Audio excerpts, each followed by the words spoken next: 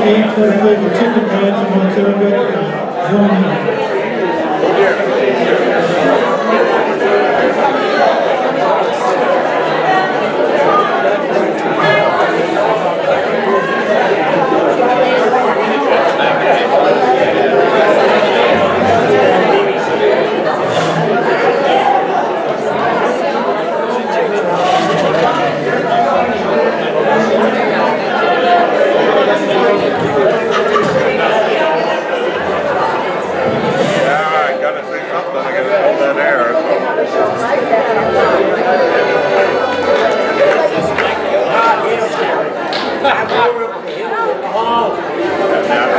Yeah.